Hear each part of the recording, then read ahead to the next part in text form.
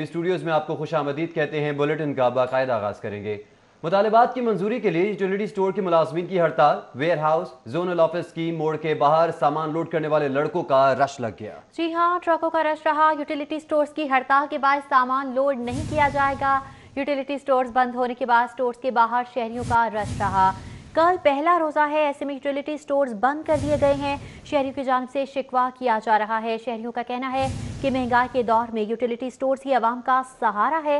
मुतालबात की मंजूरी तक यूटिलिटी स्टोर्स नहीं खोले जाएँगे। यूटिलिटी स्टोर के मुलाजमीन की जानब से वाजे कर दिया गया है। मुआमा क्या है? बात करेंगे हसन अली हमारे साथ मौजूद हैं। हसन अली, बताएगा रमज़ान मुबारक कल से शुरू होने वाला है, ऐसे में यूटिलिटी स्टोर्स बंद कर दिए गए। All worker utility stores union union की जानब से मुतालबात मंजूर ना होने पर जो है वो हड़ताल कर दी गई और आज लाहौर शहर समेत मुल्क भर के जो यूटिलिटी स्टोर्स हैं उनको बंद कर दिया गया है। कल पहला रोज़ा है। यूटिलिटी स्टोर्स के बाहर शहरी जो है वो मौजूद है। इसी वाले से मज़ीद बात करेंगे। यहाँ पे मेरे साथ शहरी मौजूद है। ये बताइएगा, कल रोज़ा है और आज जो है वो यूटिलिटी स्टोर बंद कर दिए गए हैं। क्या कहेंगे? ये स्टोर खोलने चाहिए इनको। सुबह से खड़े हैं हम, लाइन लगा के। महँगाई इतनी ज़्यादा है। कोई सोच ही नहीं रहा इसके बारे में। ना चीनी मिली है, ना आटा मिल रहा है। दर बदर फिर रहे हैं जगह जगह पे। आटा लेने के लिए, चीनी लेने के लिए, दालें लेने के लिए कुछ भी नहीं मिल रहा। यही सहारा था, यूटिलिटी स्टोर का, महँगाई की वजह से। जब स्टोर पे आते हैं तो ताले लगे हुए हैं। आपके सामने है सब कुछ। जैसे कि मेरे साथ एक शहरी जो है मौजूद थे, उनका यही कहना है कि हुकूमत को चाहिए कि वो ये मसला हल करे और स्टोर्स को जो है वो खोला जाए, क्योंकि कल जो है वो माह रमज़ान का आगाज़ होने जा रहा है और इससे कबल यूटिलिटी स्टोर्स की हड़ताल जो है वो बेहतर नहीं है। उनका यही कहना है कि यूटिलिटी स्टोर्स आवाम के लिए वाद सहारा हैं कि जो आवाम को सहूलत फ़राहम इस वक्त जो है वो कर रहे हैं महँगाई के इस दौर में और चीज़ें जो है वो सस्ते दामों मिल रही हैं। उनका ये कहना है कि हुकूमत को चाहिए कि वो फौरी तौर पर मसला हल करे और स्टोर्स को खुलवाए ताकि आम शहरीों को महँगाई के इस दौर में रिलीफ मिल सके। जबकि दूसरी तरफ़ जो ऑल वर्कर यूनियन है यूटिलिटी स्टोर्स की, उसकी जानब से ये ऐलान किया गया है कि जब तक उनके मुतालबात तस्लीम नहीं होंगे, उस वक्त तक स्टोर्स जो हैं वो नहीं खोले जाएँगे। उनके मुतालबात में जो डेली वेजेस हैं, उनको मुस्तकिल करना, इसके अलावा उनके जो सालाना इंक्रीमेंट्स हैं, उसको फ़राहम करना, करोना वायरस के दौरान जो ड्यूटी देने वाले मुलाजमीन हैं, उनको इजाफी तनख्वाह जो है वो फ़राहम करना समेत दीगर मुतालबात जो है वो शामिल हैं। इस हवाले से गुज्त रोज़ जो है वो chairman utility stores corporation of Pakistan के साथ मुलाजमीन के मुतालबात मुजाकर जो है वो हुए, लेकिन वो मुजाकर कामयाब नहीं हुए, जिसके बाद जो यूनियन है all work all worker union जो है, उसकी जानब से हड़ताल का ऐलान किया गया और आज जो है वो मुल्क भर के यूटिलिटी स्टोर जो हैं वो बंद कर दिए गए हैं। तहम शहरीों का यही कहना है कि हुकूमत को चाहिए कि वो इस मसले को हल करे और यूटिलिटी स्टोर्स को खोला जाए, ताकि आम शहरीों को, आम सार्फिन को माह रमज़ान में सस्ते दामों अशिया की फरहमी मुमकिन हो सके। हसन अली आपने हमें आगाह किया आपका बहुत शुक्रिया। इनसे आपको खबर देते चले यूटिलिटी स्टोर्स की बंदिश के खिलाफ पंजाब असम्बली में करारदाद जमा करा दी गई है। करारदाद मुस्लिम लीग नून की रुकन सुमेरा कोमल की जानब से जमा कराई गई। ऐवान यूटिलिटी स्टोर्स की बंदिश के खिलाफ शदीद गम गुस्से का इजहार करता है ये मतन है। रमज़ान मुबारक की आमद के साथ ही यूटिलिटी स्टोर्स का बंद होना अफसोसनाक है। करारदाद का ये मतन है। अपडेट कर रहे हैं। इस हवाले से आपको कि यूटिलिटी स्टोर्स की बंदिश के खिलाफ पंजाब असम्बली में करारदाद जमा करा दी गई है। करारदाद मुस्लिम लीग नून की रुकन सुमेरा कोमल की जानब से जमा कराई गई है, जबकि ऐवान यूटिलिटी स्टोर्स की बंदिश के खिलाफ शदीद गम गुस्से का इजहार करता है। करारदाद का ये मतन है और माह रमज़ान की आमद के साथ ही यूटिलिटी स्टोर्स का बंद होना अफसोसनाक है, करारदाद का ये मतन है। जी हाँ करारदाद जमा करवाई गई है। यूटिलिटी स्टोर्स की बंदिश के खिलाफ पंजाब असम्बली में करारदाद मुस्लिम लीग नून की रुकन सुमेरा कोमल की जानब से जमा करवाई गई है। मतन के मुताबिक, एवान यूटिलिटी स्टोर्स की बंदिश के खिलाफ शदीद गम गुस्से का इजहार करता है। रमज़ान मुबारक की आमद के साथ ही यूटिलिटी स्टोर्स का बंद होना अफसोसनाक है। अभी आपको बताएँ कि ऑल पाकिस्तान वर्कर्स यूनियन का अलायंस और national workers union utility stores के अहदेदारान की न्यूज़ कॉन्फ्रेंस जारी है।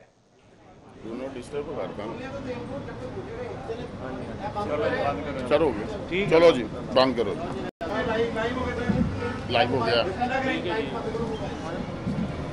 फट जा रहा लाइट बंद कर। मोबाइल बंद कर दो मोबाइल अपने बंद रखना।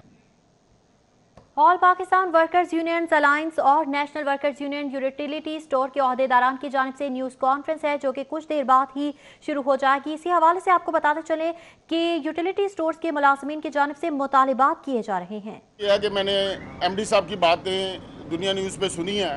मुझे इंतहाई दुख हुआ, अफसोस हुआ कि वो कहते हैं कि हम सियासत चमका रहे हैं। यूटिलिटी स्टोर के अगर 2017 से लेकर 2019 तक ये ये वो पैसे हैं जो यूटिलिटी स्टोर के हालात ख़राब थे। अगर ख़राब थे तो मैं एमडी साहब से गुजारिश करता हूँ कि आपकी सैलरी कैसे बढ़ गई। अगर आपके सैलरी के लिए यूटिलिटी स्टोर के पैसे आए तो हमारे पैसे देने के लिए यूटिलिटी स्टोर के पैसे क्यों नहीं आए और अडॉप्ट किए हुए जीएम्स की सैलरी तीन महीने के बाद डबल सैलरी कर दी गई। उनके लिए पैसे कहाँ से आ गए? क्या उनके पैसे वज़ीर अजम ने फंड दिए हैं कि इनकी सैलरी डबल कर दी जाए? बात यह कि जब तक हमारे पैसे नहीं देंगे, हम अपना जायज़ हक मांग रहे हैं। कोई नजायज़ हक नहीं मांग रहे। और हम लोग वज़ीर अजम पाकिस्तान का पैकेज चलाना चाह रहे हैं और चला रहे हैं। और बात यह बात यह कि ये ये मुतालबात कोई हमने कल नहीं दिए। ये मुतालबात हमारे को पंद्रह बीस दिन पहले मीटिंग चल रही थी। अगर वो चल रही थी तो उन्होंने अब तक क्यों नहीं फैसला किया? और लॉकडाउन जब भी करते हैं एमडी साहब की तरफ़ से ही होता है। हम लोग तो उनकी हर शराइत मारने को तैयार हैं। बात यह है कि कुछ भी हो, मैं कहता हूँ कि हमें कोरोना कोरोना के मुँह के ऊपर झोंका गया है। हम तो उसके बावजूद फिर भी काम कर रहे हैं। काम हम करने को तैयार हैं। हमें ना आज तक कभी मास्क दिए गए, ना हमें सैनिटाइजर दिया गया, ना हमें वर्दियाँ वर्दियाँ एक डिस्पोजेबल वर्दी दी गई, वो ख़त्म होगी उसके बाद आज तक हमें कोई चीज़ नहीं दी गई। और जितना हम लोग काम कर रहे हैं, मैंने कहा कोई भी दुनिया का महकमा देख लें, आप कह रहे हैं कि डॉक्टर बड़ा काम कर रहे हैं। डॉक्टर बेशक बहुत काम कर रहे हैं, लेकिन डॉक्टर को पता है कि इस बंदे को कोरोना है, इसलिए उसका एहतियात से इलाज करता है। हमारे पास सात आठ सौ बंदा आता है और रूटीन में पंद्रह पंद्रह बीस बीस बंदे हम अंदर करते हैं। हमें तो पता ही नहीं किसको कोरोना है, किसको नहीं है। इसके बावजूद मैं वज़ीर साहब को यकीन दिलाता हूँ, हम लोग काम करना चाह रहे हैं। हम लोग वज़ीर अजम का पैकेज कामयाब करना चाहते हैं, लेकिन वज़ी अजम साहब, मैं गुजारिश करता हूँ कि ये एम डी साहब और चेयरमैन साहब आपका पैकेज ख़राब करने पर तुले हुए हैं। और गुजारिश है कि मैं हम्बल रिक्वेस्ट करता हूँ वज़ीर अजम से, आपके मिनिस्टर साहब से कि आप खुद इन्वेस्टिगेट करें। हमारे मुतालबात कुछ गलत नहीं है, हमारे मुतालबात जायज़ हैं। और एक बंदे का हक है, हम अपना हक मांग रहे हैं। और किसी का गलत नहीं हम कह रहे कि ये गलत। हम कह रहे हैं कि डॉक्टर आपने एक सैलरी दे दी। हमें किसने कि, कितने पैसे दिए आपने? आज तक हमें कोरोना का अभी तक एक रुपया नहीं दिया गया। और जब तक हम काम कर रहे हैं हम बगैर उसके भी काम कर सकते हैं। पैसों की ज़रूरत नहीं है नहीं है। मैं कहता हूँ कि एमडी साहब की अगर सैलरी बढ़ सकती है तो हमारी क्यों नहीं? अगर जीएम्स की सैलरी बढ़ सकती है तो हमारी क्यों नहीं बढ़ सकती? हम अपना हक मांग रहे हैं अपने पैसे मांग रहे हैं। हम कोई डिमांड नहीं कर रहे कि हमें एक्स्ट्रा दिया जाए। हम तो कह रहे हैं 2017 के जो हमारे आया जाते हैं, हमें वो दें। वो कहते हैं, हमने आपको किस्तों में देने हैं। हम फिर भी एग्री कर गए हैं कि जनाब, ठीक है, मैं अपने किस्तों में दे दें। और किस्तों पे भी अब एग्री नहीं कह रही 2019 के हम देंगे 2017 के नहीं देंगे। 2017 के क्या हमारे पैसे नहीं है? 2000 हम अपने ड्यूज मांग रहे हैं। हम किसी से भीख नहीं मांग रहे। और मुझे बहुत अफसोस हुआ एमडी साहब, आपकी बातें सुन के, कि आप कह रहे हैं कि हम सियासत कर रहे हैं। सियासत तो एमडी साहब आप खुद कर रहे हैं। आप सियासत कर रहे हैं तो अभी तक हम यहाँ तक आज स्टोर बंद हुए हैं। अगर रात डेढ़ बजे लेटर देने का मकसद क्या था?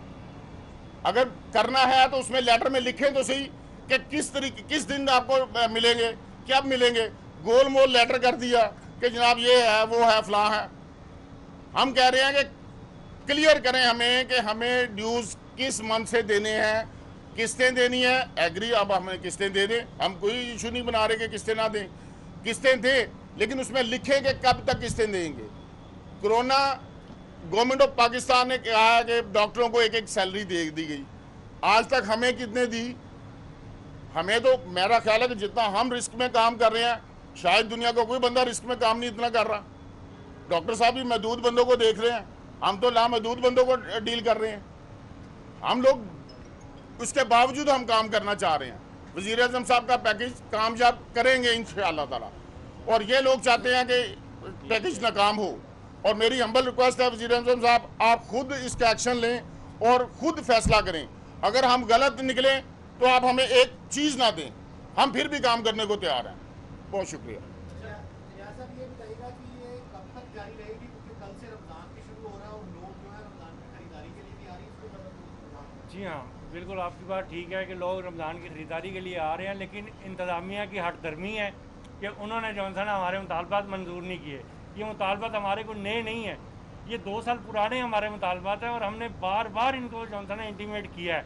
उसके, लेकिन इन्होंने हमारे साथ वादे भी किए हैं। ये नहीं कि वादे नहीं किए, इन्होंने वादे भी किए हैं, लेकिन उसके बावजूद जो है ना हमने पंद्रह दिन पहले इनको रिक्वेस्ट की कि जी हमारे मुतालबात मान लें, वरना हम यूटिलिटी स्टोर्स के अहदेदारान न्यूज़ कॉन्फ्रेंस कर रहे थे। माह रमज़ान की आमद आमद है शहर में मुनाफा खोर माफिया सरगर्म हो चुका है। प्याज 60 से 70 आलू 70 लीमू चाइना 220 से 230 रुपए किलो में फरोख्त हो रहा है। लीमू देसी 300 से 350, लहसुन 300, अदरक 350 रुपए किलो पर फरोख्त किया जा रहा है।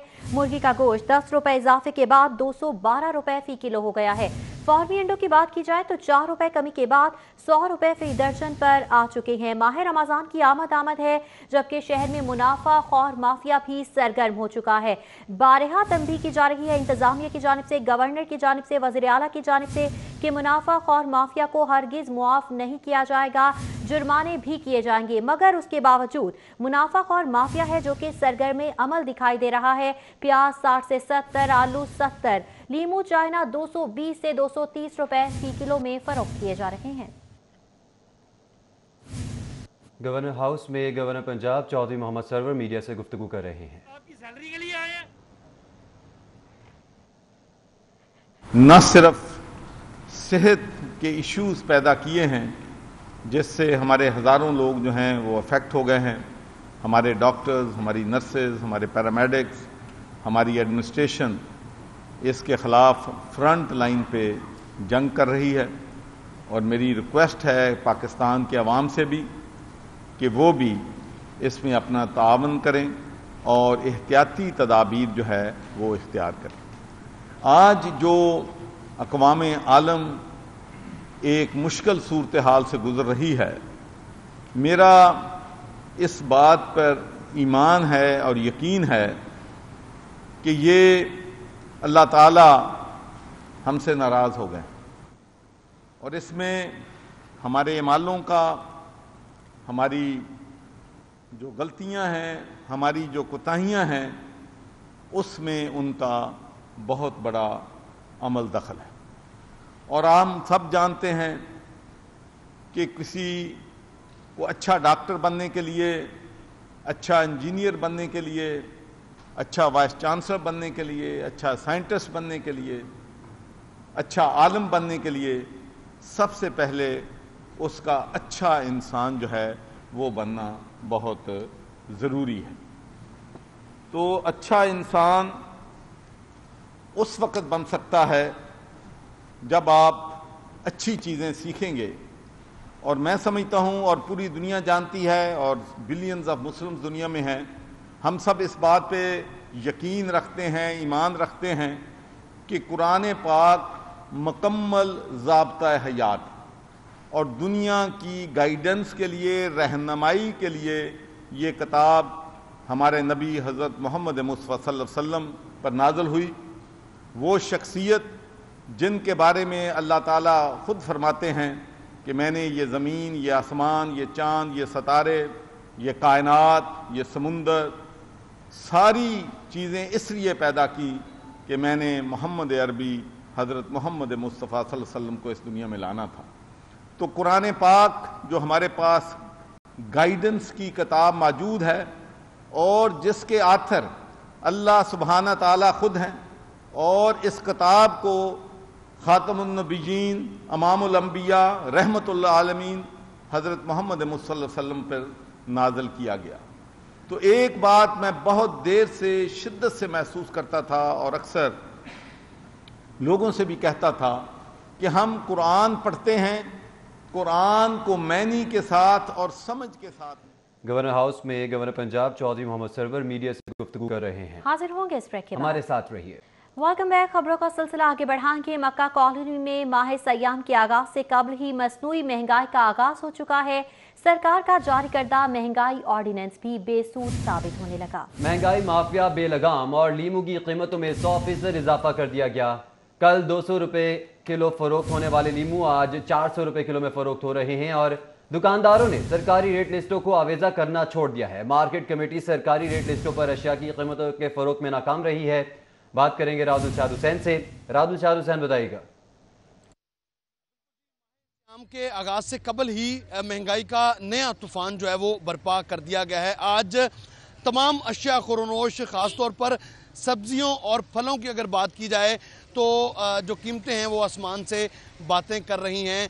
लीमू की कीमत में सौ गुना इजाफा किया गया है। दो सौ रुपये में फ़रोख्त होने वाला लीमू आज जो है वो तीन सौ पचास और चार सौ रुपये तक में फ़रोख्त किया जा रहा है लेकिन जो सरकारी रेट लिस्ट है उसके मुताबिक प्राइस 150 है। इसी तरह से आ, सेब जिसको तुर्की और जो मुकामी काला गुलू सेब है उनकी कीमतों में जो रद्दबदल है वो देखने में आ रहा है क्योंकि 250 से 300 रुपए में ये सेब जो है वो फ़रोख्त किया जा रहा है। इसी तरह से केला जो है वो वो भी 120 से 150 रुपए अमरूद ठीक है राहुल चौध बहुत शुक्रिया आपका। एक बार फिर से आपको ले चलेंगे गवर्नर हाउस जहाँ पर गवर्नर चौधरी सरवर इस वक्त मीडिया से गुफ्तु कर रहे हैं।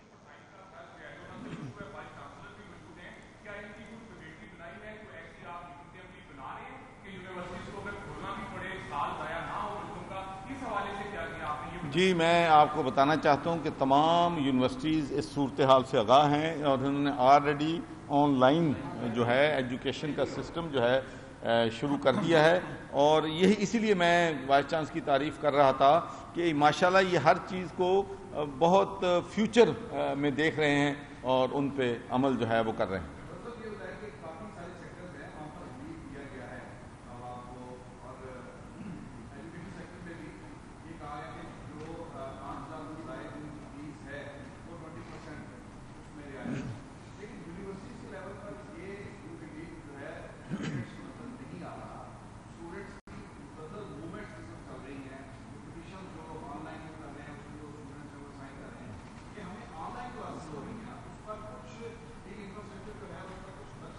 बहुत अहम पॉइंट आपने रेज किया है। इनशाला I will ask the secretary higher education भी यहाँ बैठे हैं मिनिस्टर साहब भी तो इनसे डिस्कस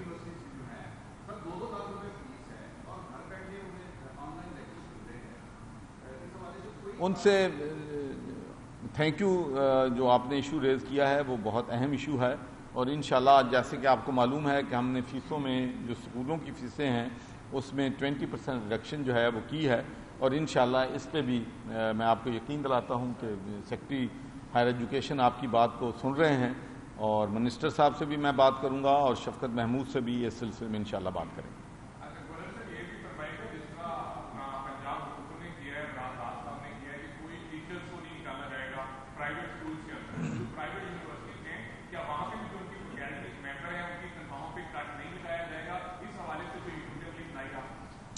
देखें जी, ये सारी वो चीज़ें, देखें, पहली बात तो ये है कि ये एक ऐसी आफत है जो हमें बता के नहीं आई।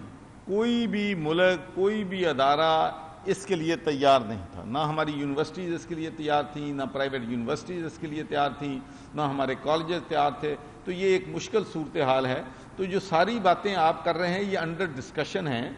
इसका मतलब नहीं कि हमने इन चीज़ों को डिस्कस नहीं कर रहे, लेकिन जब कोई फैसला उस पर हो जाएगा तो इन फिर सबसे पहले हम प्रेस को इन्फॉर्म करेंगे।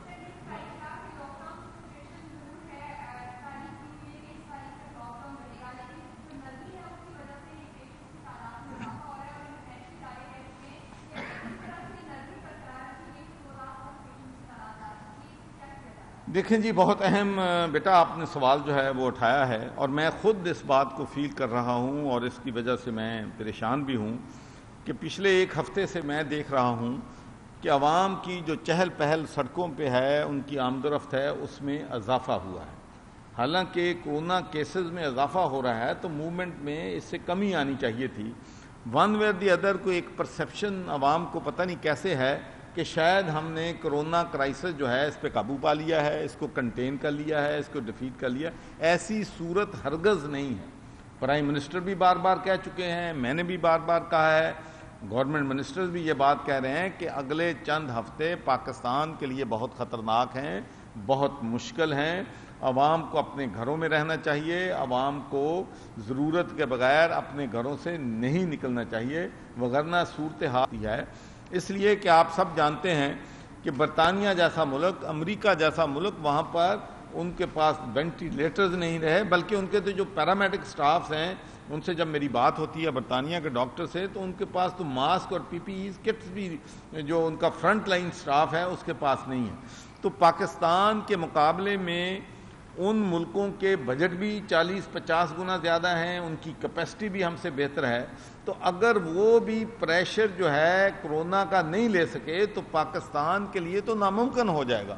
और डॉक्टर्स भी आपको मालूम है कि सिंध के डॉक्टर भी वार्न कर रहे हैं, पंजाब के डॉक्टर भी वार्न कर रहे हैं कि कहीं ऐसा ना हो कि हमें लोगों का इलाज जो है सड़कों पे करना चाहिए पड़े। तो इसके लिए मैं समझता हूँ कि हम सबको अपना हाउस इन ऑर्डर करना चाहिए। और इसमें उलमाए कराम जो है, उनसे भी मैं गुजारिश करूँगा कि इस वक्त उनको एक अहम रोल, एक अहम लीडरशिप दिखाने की ज़रूरत है, क्योंकि जो एस ओ पीज़ जो हैं, हुकूमत के साथ तय पाए हैं, अगर उनकी इम्प्लीमेंटेशन ना हुई तो सूरत हाल जो है, वो बहुत ख़तरनाक हो सकती है। और उस ख़तरनाक सूरत हाल में हमें ऐसे फैसले करने पड़ सकते हैं, जो कि हम जो है लोगों की जानें बचाने के लिए हमें करने पड़े। थैंक यू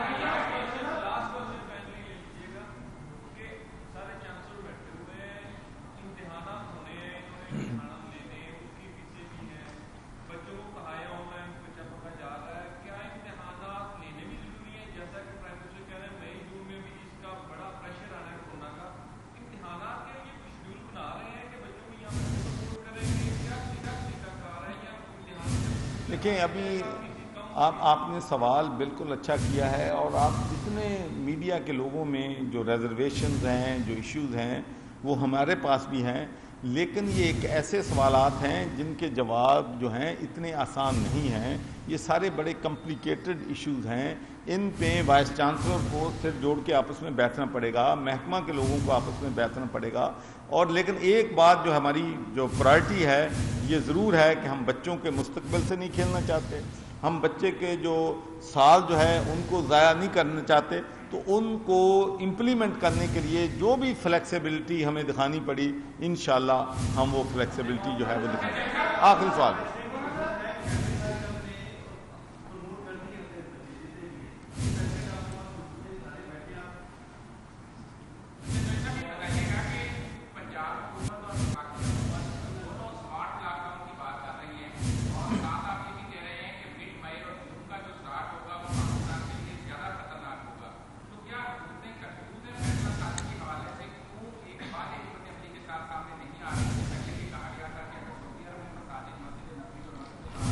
देखिए, मैं मैं अर्ज़ करूँ जी, आपने जितने भी सवाल उठाए हैं, मैं आपसे अर्ज़ कर रहा हूँ कि वाइस चांसलर इन चीज़ों से अच्छी तरह आगाह हैं और इन ये हम कंसल्टेशन जो है वो कंटिन्यू रखेंगे। और आखिर में मैं फिर आपसे ये अर्ज़ करना चाहता हूँ कि आज का जो हमारा वाइस चांसलर्स के साथ मीटिंग का मकसद था, वो यही था कि जैसा कि मैंने पहले अर्ज़ किया है कि कुरान पाक जो है जो मुकम्मल जबता हयात है और इसके आथर जो हैं, अल्लाह सुबहान ताली खुद हैं और उसके बाद ये किताब जो है, हमारे प्यारे नबी हजूर वसल्लम पे नाजल हुई है और ये न सिर्फ़ मुसलमानों के लिए, बल्कि मैं तो इस बात पे बिलीव करता हूँ कि पूरी दुनिया के लिए एक नजात का रास्ता भी और एक हदायत का रास्ता बन सकती है। और हम जितने भी अपने मसाइल हैं, उन पर काबू पा सकते हैं। अगर इस किताब को पढ़ा जाए, समझा जाए और उस पर अमल किया जाए। और मैं बात एक आपसे और शेयर करना चाहता हूँ। यकीन माने कि मैं बहुत से नान मुस्लिम पॉलिटिशियंस को और अकेडमिया को मिला हूँ, जो मुझे ये कहते हैं कि हमने कुरान पाक जो है, मैनी के साथ पढ़ा है। ये साइंटिस्ट जितने हैं, इंजीनियर्स जितने हैं तो अगर नान मुस्लिम हमारी किताब को पढ़कर, समझकर, उसको उससे फ़ायदा उठा सकते हैं तो मैं समझता हूँ कि हमें भी इस किताब से, कुरान पाक से फ़ायदा उठाना चाहिए। और इन मुझे इस बात पे बड़ा फ़ख्र है कि हम बहुत जल्द इन तमाम यूनिवर्सिटीज़ में कुरान पाक को बा मैनी जो है, मैनी के साथ पढ़ाने के लिए इन जो है, रूल्स जो हैं वो इम्प्लीमेंट कर देंगे। और इन कुरान पाक जो है, मैनी के साथ तमाम पंजाब की यूनिवर्सिटियों में पढ़ाया जाएगा। आखिरी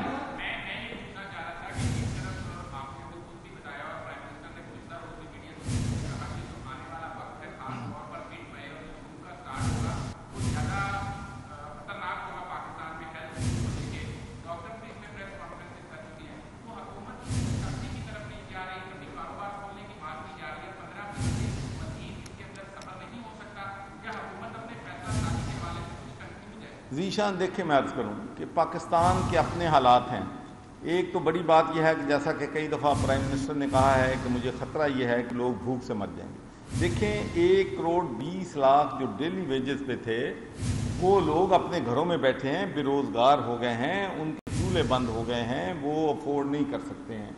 दूसरी तरफ़ बीमारी का हमला है हम पे तो हमें इसके लिए एक बैलेंस जो है स्ट्राइक करने पड़ेगा।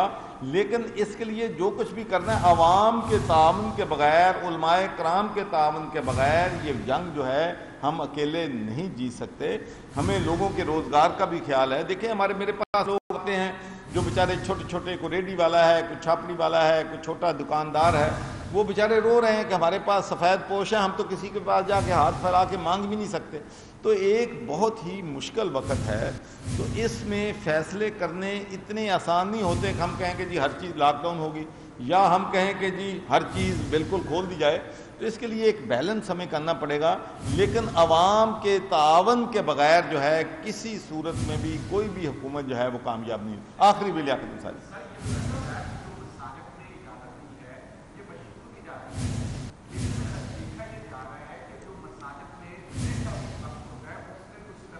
देखिए, मैं आपको बता दूँ, बड़ा ये वाजे, मैं उस मीटिंग में मौजूद था। एक तो बड़ा वाजे फैसला हुआ था कि वज़ू लोग घर पे पढ़ के आएँगे। सोशल डिस्टेंस जो छः फुट की है, वो रखी जाएगी और मसाजिद के हाथों में ही ये नमाज़ जो है पढ़ी जाएगी। उन अगर एस ओ पी पे अमल ना किया गया तो फिर मैं, I said with heavy heart कि हुकूमत को फिर आवाम की जानने बचाने के लिए सख्त फैसले करने पड़ेंगे। यू कहा निकाती एजेंडे पर अमल ना किया गया तो हुकूमत को सख्त फैसले करना होंगे। Governor Punjab Chaudhry Mohammad Sarwar news conference कर रहे थे। उनका कहना, कोरोना के खिलाफ जंग में आवाम और कराम दोनों का ताउन दरकार है।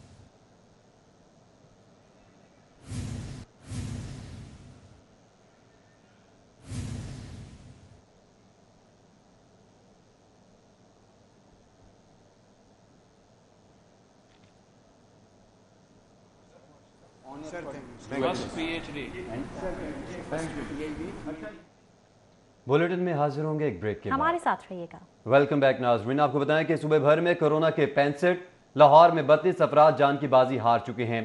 सूबे में कोरोना के मरीजों की तादाद के हवाले से आपको बताएँ कि चार हज़ार सात सौ सड़सठ लाहौर में आठ सौ पचासी हो चुकी है। जी हाँ अब तक सुबह भर में सड़सठ हज़ार आठ सौ बयासी टेस्ट किए गए हैं। पीकेएलआई में 22, म्यू में एक सौ उनहत्तर चिल्ड्रन अस्पताल में पाँच मरीज़ जेर इलाज हैं।